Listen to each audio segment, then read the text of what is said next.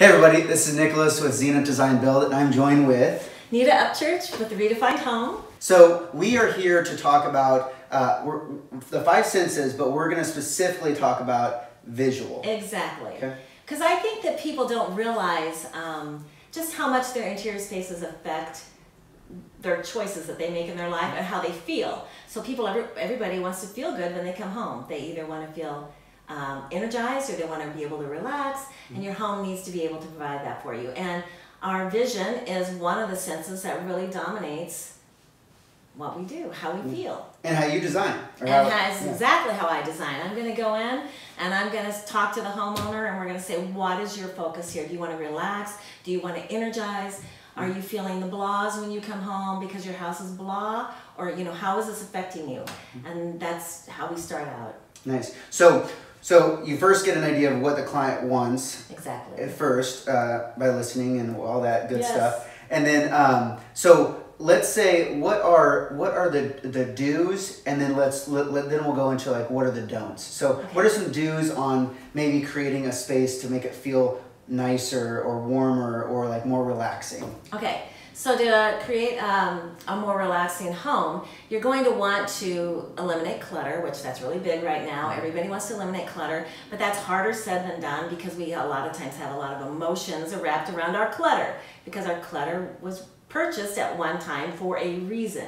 So there's a sentimental value or a purpose. When that no longer happens, then that needs to go away and you're not using it for that reason. Um, warmer colors. And if you're noticing now, design trends are starting to warm up the grays a little bit. Instead of them being a cool gray, they're a little bit warmer. I call them kind of grayish. Some people call them grayish, but they're like a sable or mink or those kind of colors um, that are coming in if you select the grays.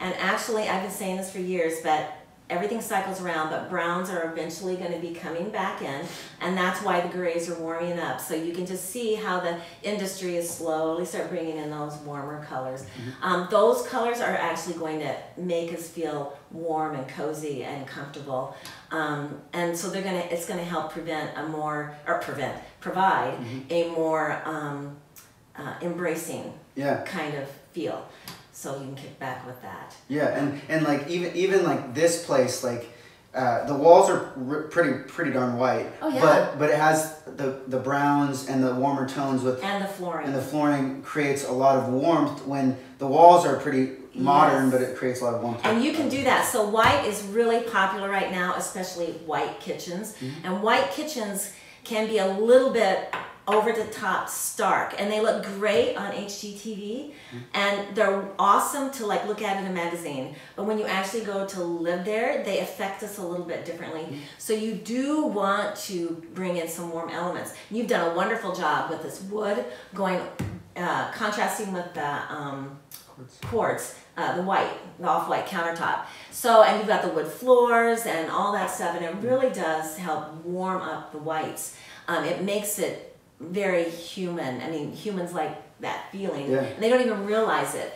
Um, so there are lots of things to consider. Uh, you know, you can look at Architectural Digest and those homes are over the top, but you wouldn't necessarily want to live there. Yeah, yeah. So. Well, and even too, like not even just color of walls, but like the color of lighting too, right? Mm -hmm. So like yeah, lighting. You want to have the more warmer lighting. Uh, I don't mean like it doesn't need to be like crazy warm, but you need to have a, a, an appetizing warmth. So the cool lights will actually make our skin tones look placid and we look kind of sickly. Mm -hmm. And if we look at each other and we're looking sickly at each other, it's like we're going to start feeling physically sickly. Yeah. So you want to have those nice warm flesh tones. You want to have the nice warm colors to your food and um, also to your accents. Mm -hmm. So another thing too for kitchens, because of the white kitchens, um, eliminate as much clutter from the kitchen as possible, but then, you know, have a big bowl of beautiful uh, fresh fruit.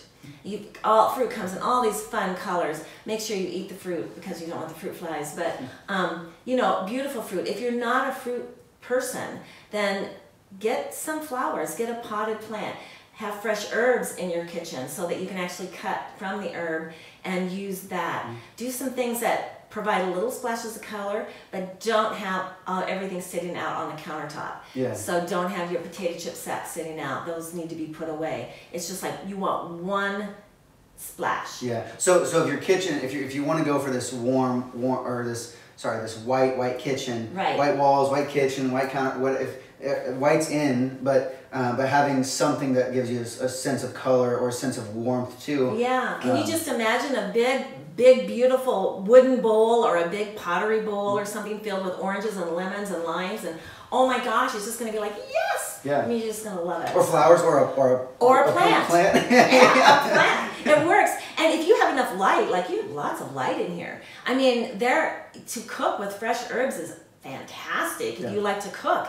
And so you just have some dill and some chive and some stuff sitting in your kitchen. It just provides a little splash of green, and you can actually snip from those and you put it in your soup. Nice. So it's yeah. nice. Yeah. So I want to kind of backtrack a little bit to, to the lighting. So one, one thing that we we use a lot of because you talked about warm lighting. So um, and just to give people an idea of what warm lighting is or what, what cool lighting is, but um, so typically when you refer to it or you buy bulbs at the store, daylight lights is around five thousand Kelvin. And then warm lighting is around three thousand Kelvin, and we we try to design stuff with around the warm lighting where it's like the 3000, 3000, yes. 2700 Kelvin, Exactly. where, where it's where it's this warmer lighting, um, and then when you go to like Edison bulbs, then you get stuff that's a little bit lower in the spectrum, Mm-hmm. uh, but they also provide a really cool ambiance. So I think a combination of maybe some Edisons, those are really popular nowadays, Right. Um, and then also just giving the, the 3000 Kelvin light, Right. which is warm. So you want to have a mix of like you want to be able to illuminate the room. So that's what recess lighting does. A lot of rooms have recess lighting. It's there to be provide this big overall even lighting. But um, but when you're in the living room or whatever, you want intimate lighting as well. You want to be able to turn on a table lamp or you want some softer lamp uh, lighting. And so that's where you can use your Edison bulbs. Um, maybe over the dining room table you have a chandelier. You have recess lighting in the dining room as well when you want to really turn it up for that six-year-old birthday party. But you know, at night, if you're wanting to calm down and you just want to have a nice dessert with friends, okay, let's turn the lighting down. That's where those nice warm lights come in. So Yeah, the, the warm lighting, like having a combination of both is really great, especially when you said at nighttime. Like um, I've read, done a little bit of research about sleep, and um, sleeping, if you have like bright or blue colored lights, it can actually keep you awake or have less, less or worse night's sleep. So I think that having that warmer light's really nice at night. So that I'm glad you brought that up because um, this is something that if you're a parent and you have little ones, or that you just get up in the middle of the night a lot, do not just flip on a light switch to turn on or to go out in the middle of the night. So you've been sleeping. So I always tell parents or uh, anybody that has to get up in the middle of the night frequently, use rose-colored night lights, not the blue or not the white light, um, because uh, the rose color does not mess up our melatonin. So the melatonin is when you flip on a switch or you, you have a blue light or a white light uh, going on in the middle of the night and you're tripping your way to the crib to get to the baby, um, then you can't get back to sleep. And that's because it, your melatonin went, oh, it's daylight. Yeah, and it's, it's the, the sun's up now. And, Yeah. Um, so and if you want to go a little bit extreme, I did this for a little while, um, but it doesn't sh- it doesn't show very well, so I've changed it out in my place. But um, you can actually buy like bug lights that are very very yellow in color. Oh, fun. Um, that are super super low on the Kelvin scale or the warm scale, um, and you can put those in your bedroom for actually nighttime reading or, or whatnot, so you are not messing with your circadian rhythm That's as much. cool. And then another thing you can do, because I like that idea. Um, another thing you can do is those um, salt lamps. Mm-hmm. They're pink. Himalayan salt. Yes, and they're they're they have this nice pink glow, and they make them in all different sizes. So a little one, like just say you have them plugged into the bathroom mm-hmm. um, as just a little night light. It's not only doing its Himalayan salt thing, mm-hmm. but it's also providing that warm light for people, guests or whatever, to get to the bathroom in the middle of the night. So Yeah. there's that too. Yeah, So cool. yeah, yeah. And then okay, so let's let's talk a little bit more about the clutter thing. So talking about minimizing, and um, one comment you made to me earlier is really having a home for everything, so you don't have as much out visually. Right. So talk about like let's say you're designing a kitchen or a bathroom, or how do you do that exactly? Well, okay, so for kitchens, um, I have lots of I have lots of in my head for kitchens, but kitchens are a very um, chaotic place There's a lot of things happening in the kitchen, and it's a lot of times kitchens are the home or the hub of the home. Everybody wants to stand around and talk to the cook. Okay, so there's all these things going on in the kitchen. You don't need to add to the chaos of the kitchen with external clutter. So if you are potato chips or you eat uh, candy or whatever that is, all those things, bread sacks, all those things need to go in the cupboard, out of sight. You know, you have your beautiful bowl of grapes and whatever sitting there. That's fine. Your kids will be eating healthy snacks because the first thing they see is what they're going to want to eat. If it's a potato chip sack or if it's grapes, you want them to go for the grapes instead mm-hmm. of the potato chips. Mm-hmm. Um, also, you don't want to have a bunch of appliances sitting out on the countertop. Um, that's another thing. So just there's all kinds of solutions, and you know this, being a contractor and a designer yourself. Um, get rid of all the, the toaster, the toaster mm-hmm. oven, all that stuff. So I would say one appliance on the on Minimum. the counter, one appliance, and then everything else. And you can make um, in your cabinets, you can have these lift up. Uh, trays where if you're got a big stand mixer, you can just lift it up out of the cupboard and then tuck it back down. It doesn't need to sit out all the time. So the clutter, more clutter-free the kitchen is, the um, more clear your mind is. So um, yeah. it allows you to perform better, to yeah. have better, like cooking and even talking with your friends over the bar as you're cooking. If you don't have a bunch of stuff just constantly distracting you, then you can actually go to the task yeah, again. Yeah, so. and and one thing though, so I was just at the International Building Show, and um, and one thing that they talked a little bit about too is this simplifying is, is simplifying is in right? Um, but um, uh, in one presentation they talked about actually having bigger pantries but then having less cabinetry which actually can save you money in the end. And it creates this simplest simplistic form. So uh, i think that's a cool thing to note because then you can actually hide everything and have less cabinetry, have less of an impact on cost. I love that. I too. love that. Yeah, and having a walk-in pantry is so nice, especially if you have a family, and especially if you shop at Costco, because you're buying like five pounds instead of something instead of one pound of something. Well, get it put away, and and the pantries can be beautifully mm-hmm. organized. Yeah. I mean, well, and the nice thing about a pantry too is like your your options to to customize or to make put bigger items or like it's it's limitless in terms of like how you want to do that but okay. like as a cabinet on an upper cabinet or a lower cabinet you're really restricted to counter height you're restricted to depth mm-hmm. on the mm-hmm. uppers um, because you can't just make them whatever size you want. So right. and you want to have work surface. Yeah. So the, the uppers can't go all the way. Well, not all the uppers can yeah. go all the way. Yeah. Some of them yeah. can, but not all of them. But you know, so you you do have limitations, and mm-hmm. in the pantry you can have that, and it still needs to be. Uh, or at least in my opinion, mm-hmm. uh, when you walk into a pantry, it still needs to be inviting. You don't want to walk in there and say, like, "Oh my gosh, where am I going to find this thing?" You know, you mm-hmm. want it to be like, "Oh, I love coming in here." You know, kind of an experience, mm-hmm. and it makes you just want to cook healthier yeah. and uh, cook more at home instead of eating out or grabbing a microwave food or something, you know, it makes you want to like, oh yeah, okay, I can whip this up. Mm-hmm. Kind yeah. Of yeah. Um, so yeah, so if you have a lot of clutter, cl- visual clutter causes mind clutter.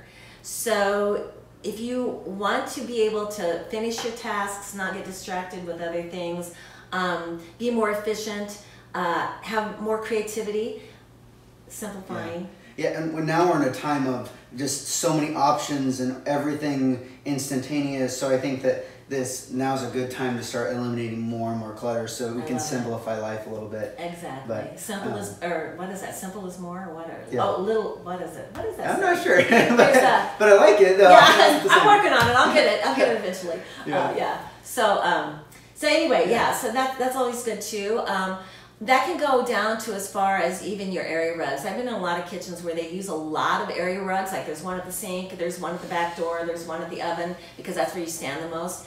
Um, I always try to simplify that as much as possible. Again, simplicity is best. Mm-hmm. Um, so get one big long runner, or maybe you have a, a, kind of a squarish kitchen. Well, maybe you get just a big area rug that's just right there in the center that helps you provide some cushion underfoot, but it's not like a bunch of little scatter rugs. Mm-hmm. So scattered rugs are scattered thoughts. Mm-hmm. So. yeah, yeah. Is there anything else you'd like to add to, to that, Nita? Well, I you know I, I know that the white kitchens are really in right now, and I will say that if you are thinking you want an all white kitchen, um, you may find that that is going to create a really harsh um, for someone to live there, a harsh environment. Um, it's going to actually be overstimulating to our senses, and it may cause overeating and over um, eating the wrong things. Mm-hmm. So if that's why we need to soften it down uh, mm-hmm. uh, with some contrast of warmth. Yeah. Um, you know, you're using stone against wood. Okay, the wood softens the stone. Mm-hmm. You're using stone against, or I mean, you're using metal against wood it softens the metal. Yeah, I, th- I, think that's really a valid point there. And like, so softening it with light, the, the color of your light, mm-hmm. um, softening it with wood tones as much as possible. So if you can introduce maybe a butcher block countertop, or mm-hmm. maybe some floating shelves that are out of butcher block or wood, or mm-hmm. maybe you just have some things that you stage your kitchen with. Yeah. They're like a wood bowl, like right, a exactly. fruit, you know, you know something that gives you some some yeah. warmth. those actually. big old hand carved. Uh, they used to be bread bowls that they used to make, but they're like handmade and they're cool. They're like this mm-hmm. big and they're really cool.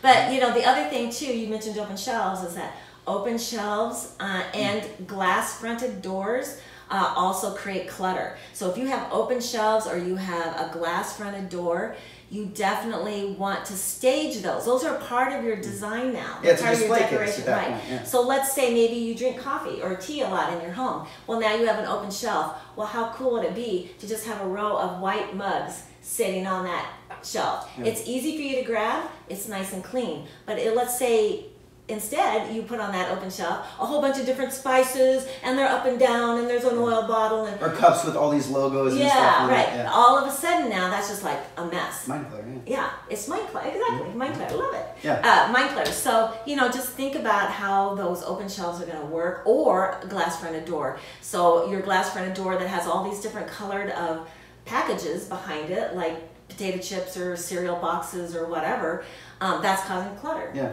But if you had some beautiful serving dishes sitting behind there, or tea kettles, or whatever it is your family uses, now it's like, oh my gosh, it's gorgeous. Mm-hmm. yeah, the one thing that's cool about that too is it's a simple look, but it, it like forces you to not be cluttered. Like if you have sometimes if you design a kitchen with too much cabinetry, which is which is good in some ways, but then it allows you to just throw stuff in the cabinet. And then and then there's clutter, but it's not visually to you until you open it up, which can still be frustrating. It can because so, then you can't find anything because if you have to pull everything out because it's in the back or whatever. yeah. Mean, so so I think it's good to have a spot for everything, but not extra spots for everything. Exactly. Because then you get cluttered, but it's cluttered behind the That's scenes. Right. Yeah. You know, the more stuff you bring into your home I always, I, I don't know if you've ever decluttered, but the more stuff you bring into the home, the more it weights you down. I mean, so when you start to declutter, it's almost like you start feeling lighter and lighter, and like it makes you want to declutter more because it's like, oh, I didn't realize, yeah, yeah, oh, I can breathe again. And you didn't realize that all that stuff was just weighting you down, mm-hmm. and um, I just, I just find it so fun when somebody realizes that. Mm-hmm. It's like all of a sudden they decluttered their cabinets. And it's like, for one thing, they're more efficient at cooking. Mm-hmm. Um, if you're altitudinally challenged, like I am, you know, it's like you don't have you can see what's up there now. You yeah. don't have to like climb on a ladder and yeah, like yeah, get yeah. up like there. these. You gotta yeah, climb. I mean, yeah, yeah, But that's how they're cool. They're cool. But that's how you stuff that you only need yeah, a few times a year. Yeah, yeah, for sure. So it all works because you need those spaces too. But you just don't need to get into them all the time. But um, but yeah. So I mean, you just kind of think about um less is more. Mm-hmm. That's what I meant to say. less is more. Yeah. Less is more. Um, yes. So the less you have, actually, the better things are. Mm-hmm. Um, just the things that need to be in your life are the things that you're currently using a mm-hmm. lot. Mm-hmm. Uh, the things that you that delight you. I mm-hmm. mean, you know, that really uplift you.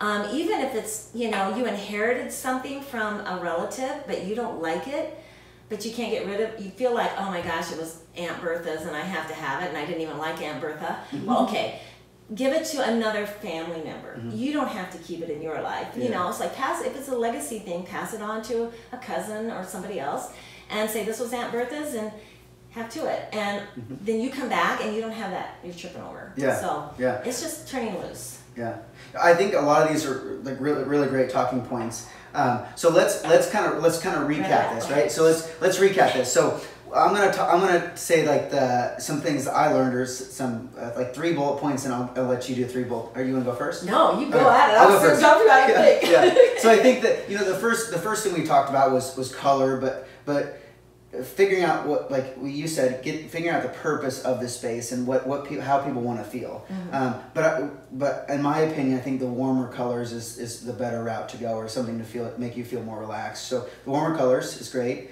um, and then using warmer colors with lighting i think that's that's huge for me because I, I, I, I lean towards a little bit more modern looks but i think that you can use warmer lighting to still have a modern look but create a space that feels warm as well right. um, and then we, we talked about clutter, but more specifically, I think that um, you mentioned having a space for everything, and then also we talked about having only a space for everything and not too much space because you have clutter behind the scenes. So I think that was probably another big talking point for me, and then mm-hmm. um, and then creating warmth in some way. So even if you're doing a white kitchen. Uh, bringing in some some element for warmth, mm-hmm.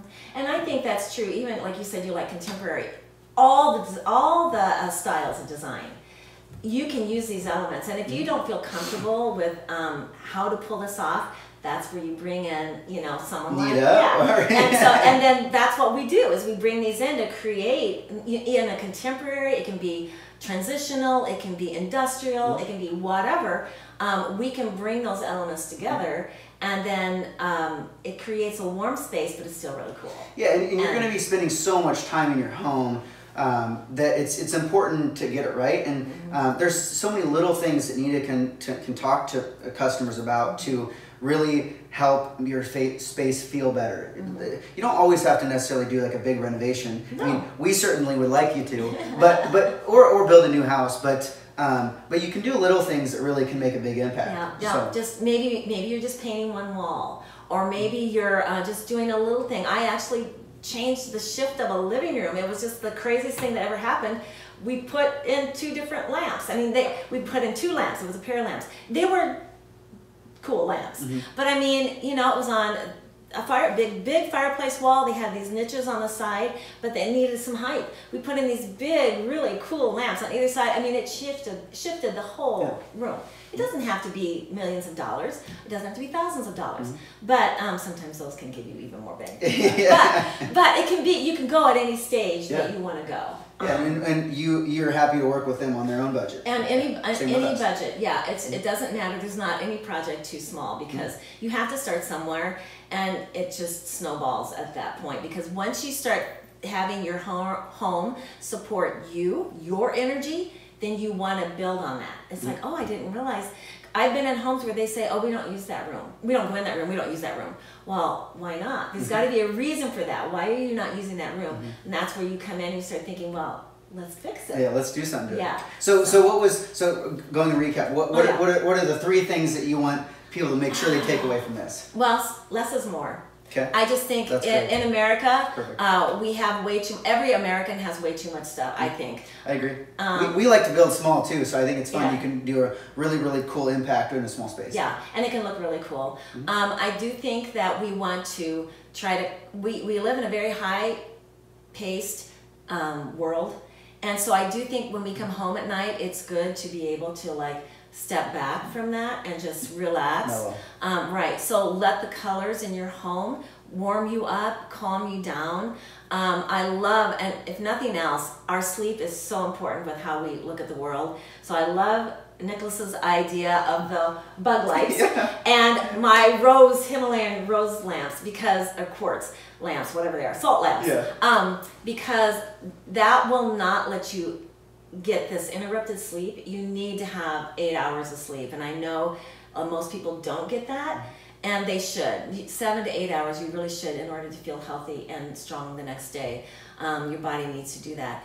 Uh, so, and then another thing I will just throw in is that if speaking of sleep, is that your bedroom really needs to be your most calming place mm. in the house. So it means clean and decluttered. Yep. Yes, and um, there's a lot of things we can talk about in the bedroom, but just the bedroom should be your de-stressing chamber. It should be like your spa world. Mm-hmm. and you just go with that so that you can rebuild and repair during the night. Mm-hmm. um, kitchens need to be as clutter free as possible and i know large families that's a challenge but it's a goal to strive mm-hmm. for. Just try to get everything off the counter. Um, if your children are overweight or they have um, high energy or whatever um, it could be what they're eating. So get rid of all the temptations and set the fruit out. Yeah, and I do so limiting the clutter in the kitchen. I really do think that this is it's a cool concept to create these open shelves, these glass to like because you have to be intentional with it, and then it almost makes you feel more intentional with everything else because you're intentional with that. Why would you have all this stuff on the countertop too? Right. Yeah. Um, so and it detracts. I mean, you you now did, did this intentionally, Mm-hmm. but now all of a sudden the all the junk on the counter detracts from that. You don't even see it anymore. Mm-hmm. And sometimes you know you do something really cool with a subway tile or something on a backsplash. Well, now you've got all this junk sitting in front of it. You don't even see it. Yeah, you don't even see what you- so, what you did, Yeah, so. yeah. So. Well, I think those are great takeaways. Yeah, Um, but if somebody wants to, to figure out how they can work with you, or they want to follow you, or how do people how do people get a hold of you? Well, they can call me. Um, they can call me. They can email me, or they can go to my uh, Facebook page. So, or you can go to my website. Mm-hmm. It does it. All those work. So, redefinedhome.com is my website. And it's Redefine Home on Facebook as well. Okay. It's Redefined Home on Facebook as well. Um, I will put a little plug out there. There is a Redefined Home boutique, which is in Arizona or New Mexico. That's Not not, Nita, it. not it. Nita. It's Redefined Home, West Des Moines, Des Moines, Yeah, Iowa, yeah. Uh, Central Iowa. And so, um, so there's that. And then, um, of course, you can find my contact information on either one of those places, so that you can email me through either one of those places, or you can call me through Nice. either one of those places. Nice. Well, we hope that you get a hold of Nita Yes. or Zenith Yes. and and uh, do a project with us or with, with Nita. Um, Or both of us at the same time. or at the same exact time. No, but it was it was a pleasure chatting with you today and, and learning some things about what you do. Um, so uh, we appreciate you guys listening, and we'll see you later.